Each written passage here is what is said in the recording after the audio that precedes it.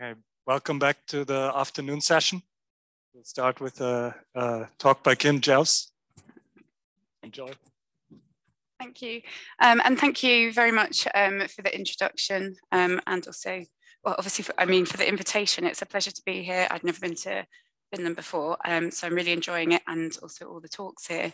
So I guess what I'm trying to do in my talk today is bring together um, the different places in my group where we use machine learning um, as I said this morning, I'm also more from the background of being a computational chemist, but much as Adam mentioned, we're recognizing where there's really opportunities to use machine learning, particularly because you can sort of incorporate more of the complexity of um, what's really happening in experiment in ways that's really hard to do um, from computational simulations um, alone. Um, and also, as I mentioned this morning, this is something we're trying to do increasingly um, at my institution at Imperial College in London, um, and in particular in chemistry with our institute DigiFab. So um, picking out the different bits of things we're doing in machine learning, it, I, I hope I've weaved this into a bit of a narrative. And the real focus is how we can work really closely with experimental colleagues um, and make sure that our predictions are really beneficial to their experimental programs. Bit nearer. Of course it worked two minutes ago. No, it won't. I'll just come down. It's better because then I won't fall off the stage either. Here we go. Right, yeah, so broadly speaking, um, I work within supramolecular materials, so a lot of host-guest binding systems, but generally with materials that are built primarily from organic building blocks.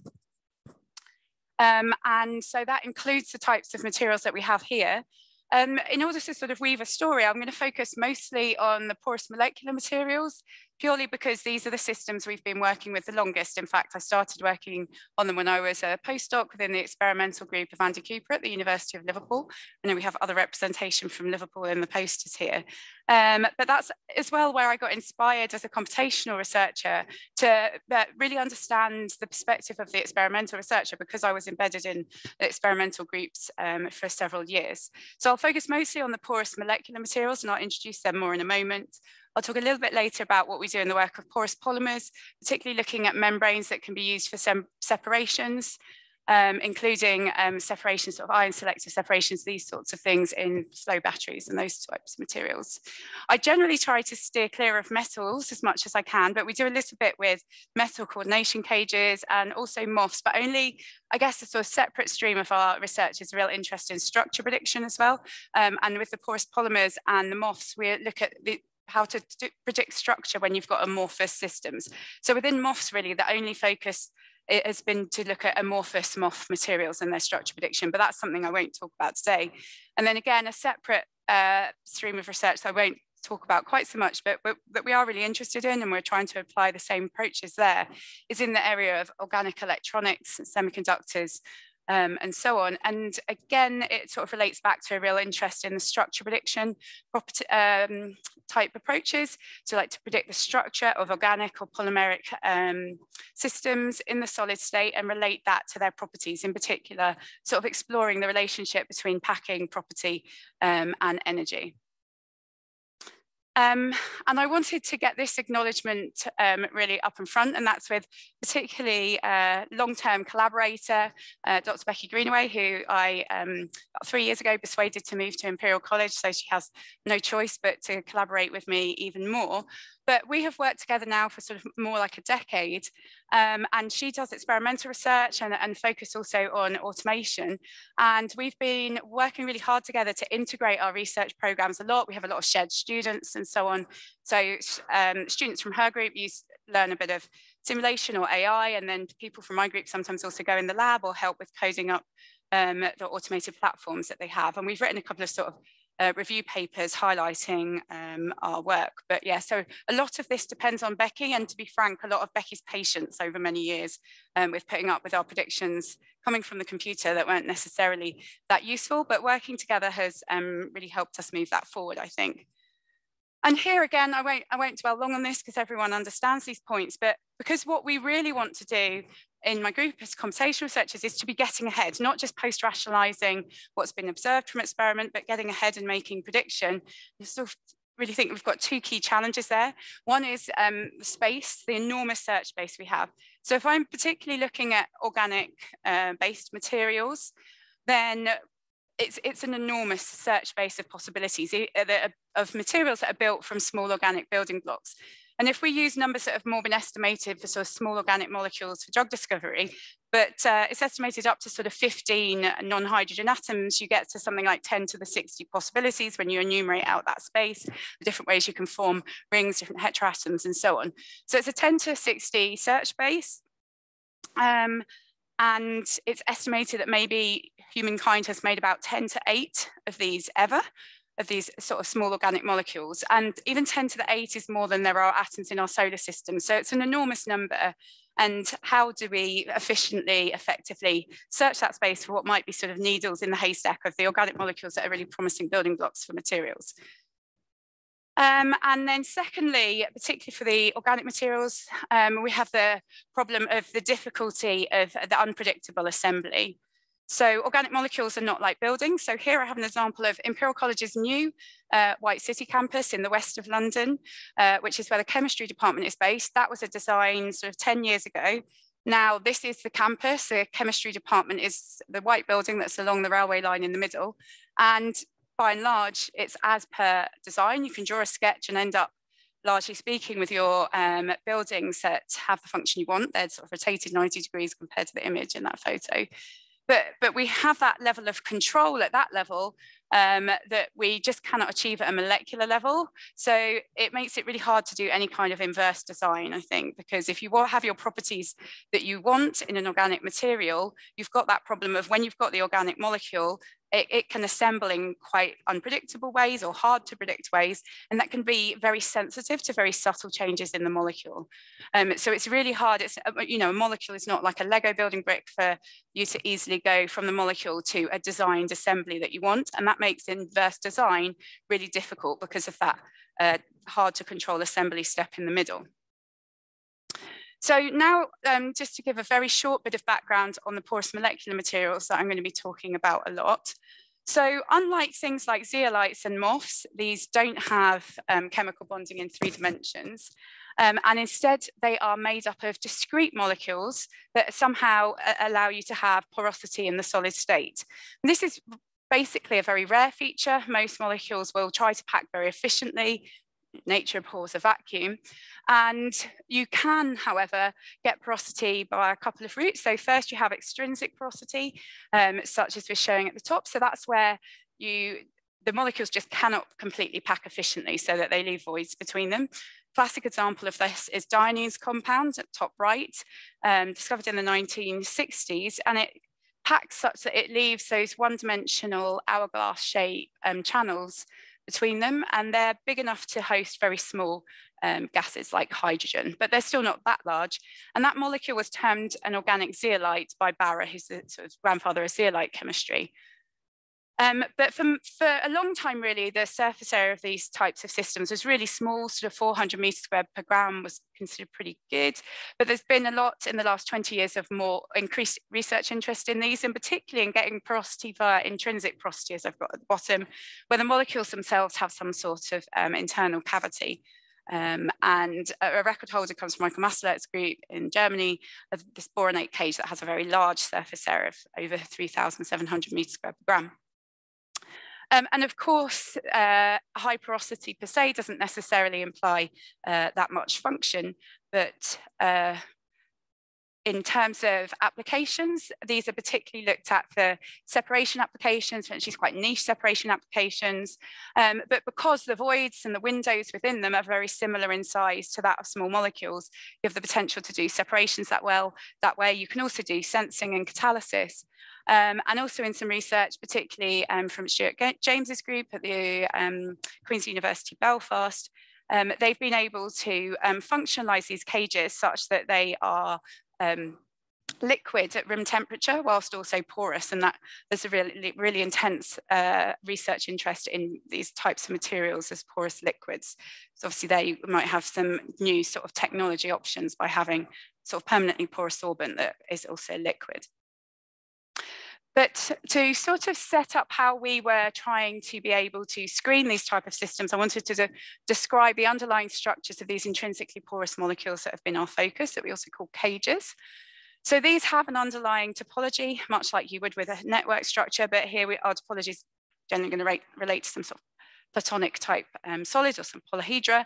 In this example, we have an octahedron, and you can think of replacing each of the four coordinated vertices um, with a four coordinate uh, or tetratopic molecule. In this case, for example, a tetraaldehyde. And then each of the edges, which are purple, with a diamine. Uh, and then the idea is that in theory, you could react them together to get this highly sort of beautiful symmetrical structure. And I've chosen that type of chemistry deliberately. This is an imine condensation chemistry, which is reversible. Um, and that's what gives you the opportunity to have um, that symmetric structure that potentially is a thermodynamic product of the reaction rather than otherwise if you just got a set of oligomers or the original intention when someone first made these type of systems was actually to make a polymer, but someone sort of saw that there was a crystal and bothered to do um, the, uh, to get the crystal structure and found that they'd made these sort of porous symmetric structures. But the reversible chemistry is key experimentally, but also quite useful from a computational perspective if we wanted to predict the reaction outcome. Because in theory, you could get different topologies even with the same connectivity. Um, and we, if we if you're getting the lowest energy outcome obviously computationally it's easier to predict that because you can compare the energy of your different reaction outcomes and predict that um, they're most likely experimentally to realize the lowest energy um, topology so if i um, we'll just talk you through what you'd ideally want to be able to predict from a structure, predict, uh, structure prediction perspective from these. So the goal is to just from a ChemDraw structure or just a SMILES code of your precursors to be able to predict the structure. And that's got a few levels. So first of all, is predicting the topology, um, as I just mentioned. And here I've got a classic example of how difficult it is for these types of systems. So um, we've got two different topologies here. They both are molecules made from the same tritopic aldehyde, but they just differ in the diamine um, as shown there. So the one on the left using a cyclopentane diamine in purple, you get a four plus six reaction of four of the aldehydes and six of the diamines. Um, to form that structure that was highly porous, over 1,000 meters squared per gram. And in fact, it was a record holder when it was made about 10 years ago. By contrast, so someone thought, oh, that's great, I'll do the same thing with just one extra CH2 group. By contrast, they then got a, a, molecule that was double the molecular mass in a different topology, as you can see there, also um, a different shape. That was a really subtle change. And you can hopefully see that that's not sort of chemically intuitive, that the human brain can already work out that you're going to get that difference. So that was something um, that we tried to predict uh, a lot by trying to look at the different energies of the different outcomes, although it's really hard because this is happening in solution and solvent scaffolding can have a lot of effect. Now, the worst thing about the molecule on the right-hand side was, in fact, that's not porous at all. And obviously, the intention in making that system was to make a porous system. Um, and a postdoc spent two years making and characterizing that system only to find that it wasn't porous. So that was a lot of wasted time and why we were interested in being able to predict this computationally. And that problem relates to um, shape persistence. So shape persistence is a feature whereby the molecule maintains an internal intrinsic cavity even when you haven't got any solvent present.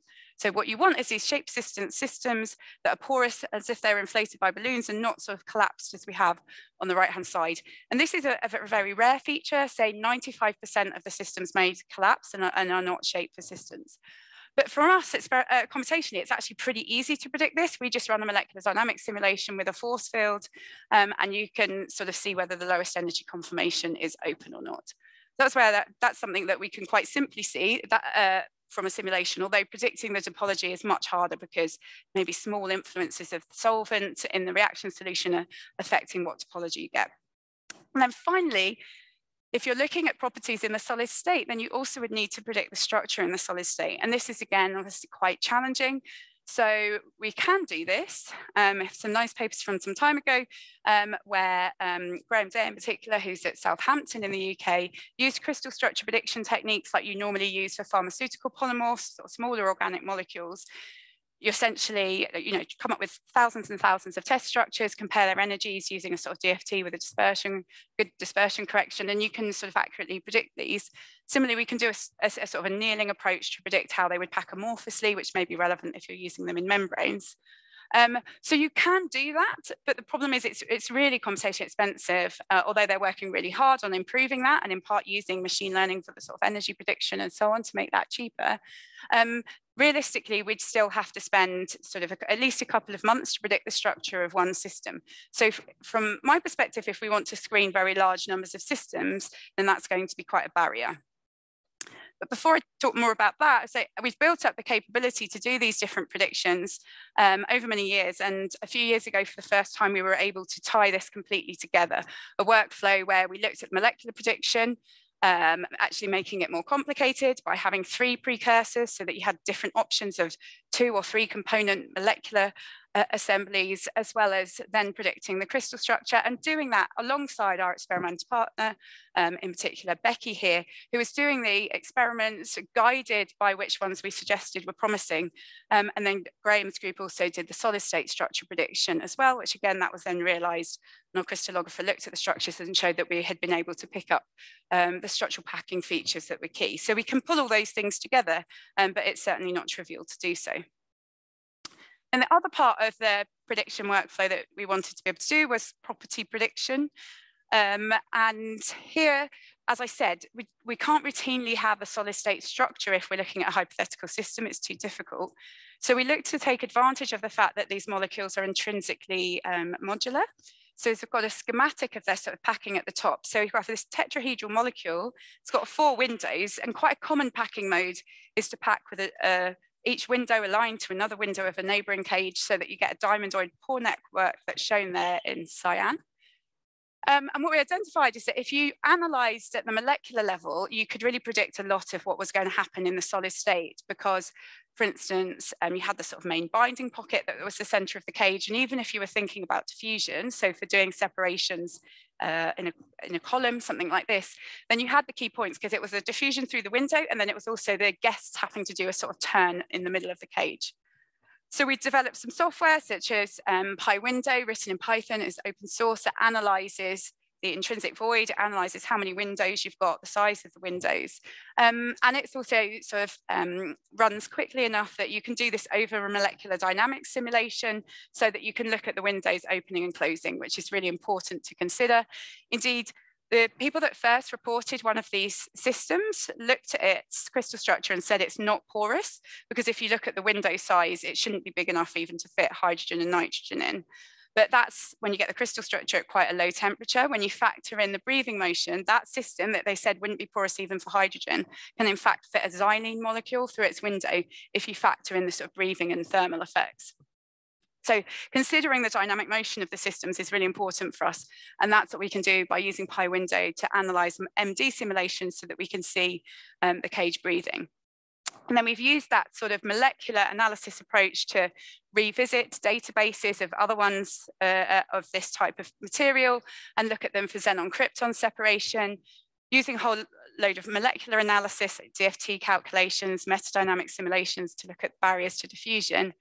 Um, to identify other systems that should be tested for xenon-krypton separation, such as water wheel that's on the far right here, and this is called water wheel, um, that molecule. And we found that also um, our prediction held true experimentally that that was promising for xenon-krypton separation. Um, and a similar thing at the bottom is study looking at separations of xylene that we did sponsored by industry. So I promise I'm almost getting to the point where we can do some machine learning, but if you see, these are systems that are relatively rare. There are only a couple of hundred out there um, in the literature. So we definitely didn't have large data sets to be immediately playing with. But part of what's given us the ability to do that is a key piece of software that was developed in my group, in particular by a really talented um, now software engineer, Lukas Turcani, who developed this during his PhD, helped by a lot of other people in the group. So this software is called STK or the Supramolecular Toolkit. Um, and how this works is it automates the sort of assembly of the uh, structures for us and also can automate um, getting the properties. Um, so STK can be fed the building blocks of um, a larger supramolecular material, um, and then based on functions that describe how those building blocks should be combined, can then build those models, and it does some sort of conformer searching to look for low energy structures. Um, and it can do that across a range of um, different structures, like organic cages in different topologies, um, linear polymers, small molecules that are combinations of different building blocks, can also do some COFs.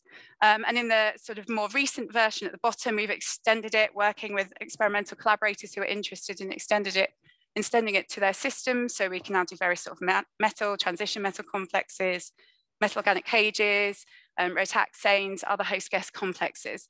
Um, and it's relatively easy to sort of extend by adding on a new function uh, to um, add a, a, new class of um, underlying structure. Um, and then it can be linked up to um, property analysis as well. So we can use structural sort of porosity analysis. We're interested in in our group. Um, we can also do potentially electronic analysis for the sort of needs of having low cost. We tend to use Grimme's GFN xTB, which it already integrates with for sort of getting electronic properties of things like um, organic polymers. Um, and I should say this, this, the source code is uh, open source on GitHub there. It's written in Python and makes heavy use of RDKit. Um, and we have some YouTube tutorials and a Discord channel, etc., all for helping people get started with it. Um, and I should say it also includes an evolutionary algorithm that helps us search um, the phase space as well, although that um, not something I'm going to focus on today. So in terms of machine learning though, STK gives us this possibility for these type of systems to just automatically generate large amounts of computational data for these um, types of systems. Um, and this was one early example with collaborators, um, Liam and Martijn at UCL, just across London. Um, and they used STK to allow them to do um, AI within um, organic polymers. They were interested in these their optoelectronic properties and also potentially sort of um, for photocatalysis. So um, what Liam did was to use STK to um, generate 350,000 different linear organic polymers. Um, and then he calibrated GFN xTB against DFT to sort of get reliable IP and EA um, values. And then he was able to use a neural network um, to be able to make that prediction on new systems in the future because he had that large data set of the 350,000 molecules um, that had automatically been characterized via using STK. And of course, at that point, that's also a really large data set. This is an, another example of a system where really there were tens of example, uh, examples in the literature from experiments. So people could make sort of structure property relationship trends suggestions, but obviously having that large data set means you could drill down and, and, and really look into that in more detail as well. Um, so going back to the organic cages, having the ability to use STK to generate computational data sets that we could use for machine learning meant we revisited this old problem of predicting shape persistence as I said, that was something that we could do quite simply by just running a short MD simulation using a force field. Um, but not every group has access to that. We tend to use OPLS, a commercial force field, because broad applicability across sort of organic chemistry.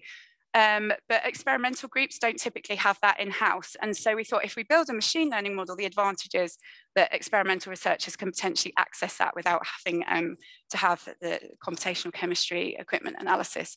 So we were trying um, to help with this specific prediction of if I have a pair of precursors, will they form an open porous molecule that's shape persistent or will they collapse? So we used STK to generate 60,000 cages as the training data. We did that across a range of different reaction chemistries for their formation and across a range of different um, topologies. And we just then did sort of bog standard supervised machine learning. We found that there wasn't much difference in their performance, that and in the end we used random forest generally um, for this prediction and for our model. And we found that we have really pretty good accuracy within class. And by that, I mean that if you have something for a tetrahedron, it won't translate well to a cubic topology. But that we would also expect from having seen how sensitive those things are experimentally as well. Of course, here we, we made the code open source as well as our data that other people have since revisited and used for other things. Um, but in order to make it really accessible also for experimental researchers, we host this model um, on a website, SupraShare. Um, this is my cage porous model. So an experimental researcher can just go there and just put in the SMILES code of their two precursors they're considering, which they can get quite easily, even, you know, you can get them from Wikipedia or something if you Google most molecules. So they just have to have the SMILES code and then click a button and it will tell you the, the model's prediction as to whether um, something is porous or not. And we think this is really useful for whom, for people for whom trying to install Python or something would already be too much of a barrier um, to using our model. Um, and we have last year revisited that data set um, and Chi in my group looked at whether he could um, get better uh, performance on the predictions by using a graph neural network. And he did see some small um, gains in that by doing so. And he also um, tried to look a bit at what explainability we could get from those models by doing an integrated gradient approach where we could see different fragments relative contribution to the prediction of collapse or not. And as is sort of highlighted in, in this um, slide, the, the atoms colored red are the ones that are contributing um, more to the collapse of um, the model for, for various predictions. So I think that's something we want to start to be looking at a bit more as we talked about on the panel as well, like getting explainability from your models is not only desirable, it's also, I think, more satisfying as well as a scientist. Um, and then next I wanted to talk about something that's been a real key uh, theme of research in my group, which is can we predict materials that can be synthesized? Um, and this is something we reviewed a couple of years ago and thought about it both from in inorganic materials and organic materials. And I think my interest there particularly was sparked from working in an experimental group, but realizing in general that we could predict, in, in, in my case, these organic molecules now, sometimes thousands of molecules a day that we think are promising. Um, but it's kind of irrelevant if my experimental colleague Becky or someone will look at them and just immediately say, well, I can't make any of these, or they're just ridiculous, they're dangerous to make, etc. Um, so that's one part of the challenge, but we reviewed in, in this article the sort of various stages, particularly at the bottom for organic materials that you have there. Not only can you purchase precursors, so they're easily synthesizable, can you form the desired molecule in our case, um, will the reaction work? It, it, often does it. It only works in the minority of cases for this sort of systems we're looking at. And then also, can you formulate the material into what into whatever form is needed for its application? For instance, can you cast it into a membrane? Is it soluble? But I will focus um, now on what we've done in that one specific case of how difficult are the precursors to synthesize or purchase. So to explain, this is an example of output from using STK as an evolutionary algorithm, where we have 15 different molecules, five from three different separate runs of the algorithm, um, that it has suggested are promising when we were targeting a specific size large, large pore. Now, the precursor library that we used for STK in this case um, was Reaxys. So this is a library of previously reported organic molecules. So at the least we thought it's good, they can be synthesized because their synthesis has been reported at some point. But of course, because they can be synthesized doesn't mean they're easy to synthesize or that they would be suitable for use in sort of a material that you might want to be um, relatively cheap. And even downloading and getting that sort of Reaxys database caused all sorts of problems. Um, the owners of Reaxys suggested cutting off the entirety of Imperial from use of Reaxys in the future because they thought we were doing something really nefarious.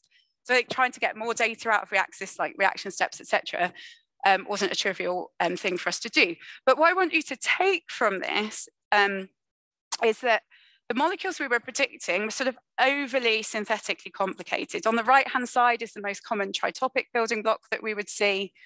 Um, and already that's more complicated than necessary because it, it, has this, each of the central rings have got functionalization that's not, not bringing anything to the party, so to speak, but making synthesis more complicated. And all of the vertices have got a lot of sort of periphery coming off them that would be synthetically difficult and costly to make, but don't add anything if you're just looking um, at getting a certain pore size.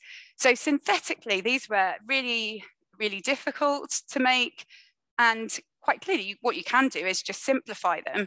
But we wanted a way to sort of be able to have in as part of what we're optimizing in a multivariable optimization, something that relates to the synthetic ease. And what we wanted to stop having to do was giving my colleague Becky big lists of hundreds of possible molecules and getting her to look through them and sift for the ones she did actually um, want to make. Um, and so the way we went about this in the end, because we tried some of the sort of existing algorithms out there for synthetic um, complexity and found that they generally and didn't work for our particular problem. They've been developed for other means. So instead, we decided to build a machine learning model that would predict whether or not um, a molecule was easy to synthesize. And we did that by collecting for ourselves that training data. Um, and because we needed thousands of data points, we found in the end that really only our experimental collaborators would sit there with patience to do that um, training data for us. And, and we got that by setting up an app that would just show them an organic molecule and ask this question of, can you make one gram of this compound in under five steps? And they would just click on that, yes, and sure, no. So it's rather like some other apps you can think of where you're swiping left and right, etc., but the equivalent for molecules. And so once we had that data, and we were asking them to sort of go on quite quick gut instinct, because that's frankly all the time we could get them to commit to. Um, but then we were able to take that data and just train a supervised machine learning model that would make that prediction of whether something was going to be easy to make or not. And now we use that again in our STK algorithm with the evolutionary algorithm. And this is an example of the output systems that we get, which even if none of us are organic synthetic chemists, hopefully you can see that these are relatively simple molecules. They're quite highly symmetric um, that would be easy um, to synthesize and access. And then this is Stephen, who did that machine learning model prediction. And he has now gone into the lab and is trying to make some of these systems on automated platforms as well um, that, that he predicted. Um, well, it's an interesting workflow anyway, and he's really been enjoying that um, and really loved as well doing the coding aspect of interacting with the automated platforms um, in Python as well. Um, and this is the sort of workflow of what he's been working on. So he's trying to look at the different reaction conditions to try and increase the chance that he can find the sweet spot where these materials can be synthesized and also automating a lot of the analysis of the mass spec um, and NMR and so on by using scripting and potentially sort of some um, machine learning will be brought into that as well, as well as, of course, we're trying to move towards using more active learning to find um, the search spaces we should be in. Yeah, I forgot that is a movie that's showing the robot work. Um, and I know I'm basically um, pretty much up with time, but I'll just highlight a couple of other areas beyond cages where we've used machine learning in slightly different ways. So as I said before, we look quite a lot at polymer membranes for separations and our focus has been on, um, is that how long I can talk or just how long you want me to stop? To talk? Okay, that's fine. Yeah, yeah, I can do that. I didn't know if, if you want to use that for questions, I can just stop as well. Yeah, so generally we do structure prediction, computational chemistry structure prediction of polymers use that to help understand what they're seeing experimentally. And normally our experimental colleagues are saying, oh, we think the reason this separation is working is because of X, Y, and Z. We build a model and tell them that they're wrong and that's not what's happening. And that's sort of been how that's been working. Um, because it's quite hard to get structure property relationships for these sort of amorphous systems. And they're polymer chains that are by design packed very poorly. So we would obviously like to be able to get ahead and do machine learning here. Again, getting high quality large data sets is quite difficult. Uh, but there is this online database um, from the Membrane Society of Australasia that had lots of gas separation data for membranes. But it was incomplete. You'd get, you'd have data from some gases, but not from others. And so what she did was to use machine learning uh, for imputation where you, um, you start with some database that's missing points, but use um, various different options, so Bayesian linear regression and so on, as approaches to fill in database by working on one column at a time. So you guess initial values, then you focus on improving the prediction for oxygen, then for nitrogen, um, and so on. And this is only to show that um, the predictions were relatively good. Which algorithm worked best would depend on the exact problem you're doing, whether you were doing it from a sort of high data point or if you had sparse data. Um, and I knew I wouldn't have time to go into that in detail, but I think that's an interesting other simple way we could take incomplete databases, use machine learning to impute them, either look again for where there were missed opportunities. So historical material systems, in this case, polymers that were maybe not fully characterized. And so someone didn't realize that they were promising for a particular separation. We were able to identify some, but in our case, we found that the ones that looked interesting had been reported previously in the literature, but just had never made their way into a database. So I guess that's another story of the problem with data and machine learning too.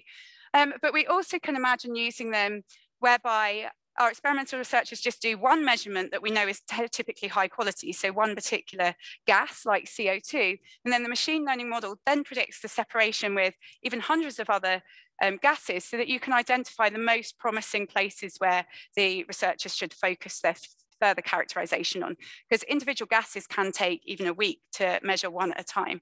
So I think it, uh, it's also very interesting there. And it showed up cases, for instance, methane was very unreliable for that sort of machine learning prediction, but it's also an experimental data point that our collaborators said is less reliable. And I will really zoom through just to say that we've also looked at um, using generative models um, and we focused on organic molecules with specific um, HOMO-LUMO and dipole properties. And because there wasn't a large enough data set, we used transfer learning. So first taught a recurrent neural network to produce smile strings by showing it ChEMBL, which is a big library of millions of organic molecules, more used for the drug discovery purposes um, but then showed it a small database of 200 organic molecules that had the necessary um, donor acceptor properties that we were looking at um, in order to have a specialized um, RNN that could sample and produce new systems. And the only thing I wanted to say on that is it this comes back to this point of uh, will the AI think differently to us? And in this case, what it had learned to do is what chemists, experimental chemists in that field do, which is to sort of swap oxygen and sulfur um, to add methyl groups and so on. And this is the nearest neighbor in the training set, and then three of the promising molecules that the recurrent neural network had suggested that would have the right properties. So in this case, pretty quickly, in fact, it, it relearned the sort of rules that experimental researchers have learned for how you tweak and tune the properties in these systems. And with that, I will um, finish and apologize if I went slightly over and of course acknowledge my group. Hopefully I've mentioned the right people at the right time um, and also my funders. Thank you.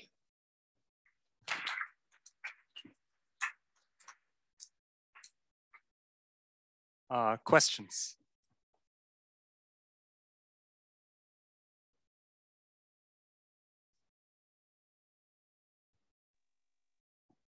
Thank, thanks a lot. Really, really nice for this imputing, is there a validation step where they go and actually do the experiments based on what you're filling in? Because this sounds brilliant, us theorists filling in experimental databases.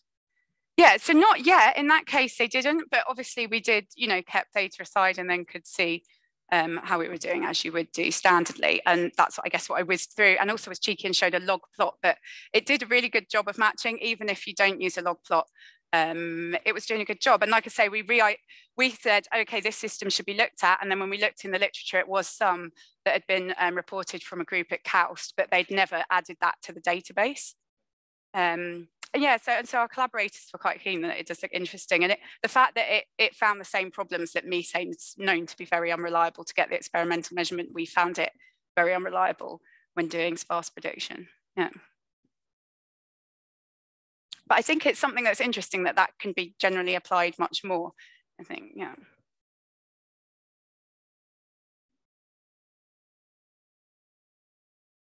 Okay, then we have a question from uh, Gergely Juhas that what is the greatest challenge to use similar approach for metal complexes, for example, cages or MOFs? Yeah, um, so to be honest, I generally steer clear of MOFs because within the porous materials background, like community, which is where I'm from, almost everyone is doing MOFs. So I sort of made a decision um, to steer clear of MOFs. But where we've added in metal organic cages and so on, from our perspective, if we've got to generate the data computationally, it's that you have these force fields for organic systems that are transferable um, and it just adding in the metals makes it more difficult.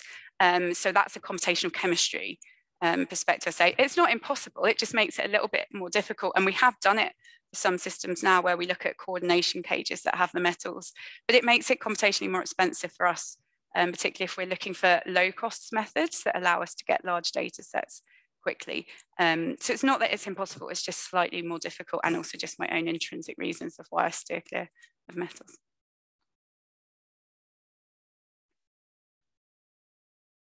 Uh, so let's thank Kim again.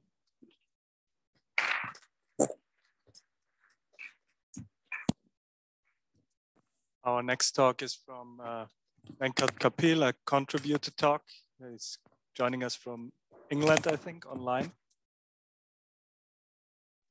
Yeah, thanks a lot uh, for yeah for allowing me to speak from here. I mean, unfortunately, I had some visa issues. Uh, one of many since the last uh, two years, but I'm